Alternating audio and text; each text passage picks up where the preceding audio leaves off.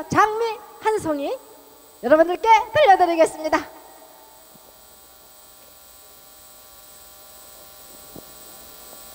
우리 문화예술단 너무나 아름다운 장옥조 단장님의 무대가 되겠습니다.